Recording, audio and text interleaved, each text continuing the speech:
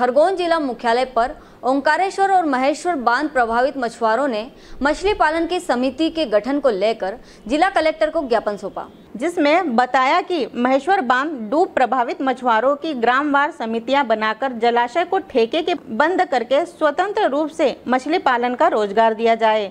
जलाशय पर महेश्वर बाँध डूब प्रभावित मछुआरा संघ सहकारी संस्था मर्यादित मंडलेश्वर के नाम से पंजीकृत है, जो किसी एक संस्था को देना मछुआरों के साथ धोखाधड़ी है। संस्था के पंजीयन को निरस्त कर ग्रामवार समितियाँ बनाने को लेकर ज्ञापन दिया है।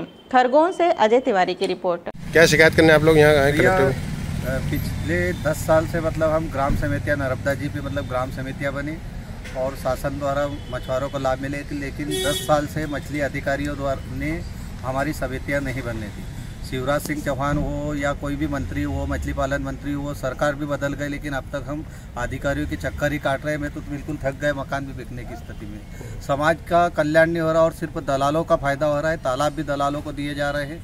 लेकिन आज तक मछुआरा के हित में कोई सी भी मतलब योजना बनी भी नहीं और उनको अधिकार भी नहीं मिला। इसलिए महेश्वर डैम जो बन रहा है यहाँ पर ग्राम समितियाँ बने मछुआरों की और उस उनके हित में योजनाएँ बने और मछुआरों का विकास। हो ये शिकायत करने हम अधिकारियों के आए थे कि उन्होंने क्योंकि 10 साल का आज तक समितियाँ बनने नहीं थी। उसमें अ, जयंतीलाल पाटीदार और वो पंजीयक अधिकारी है मतलब काशीराम आवासिया।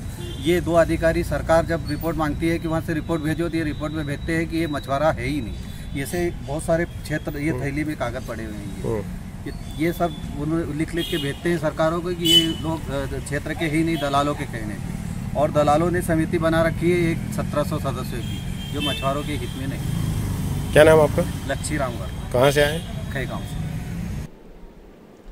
उज्जैन ज़िले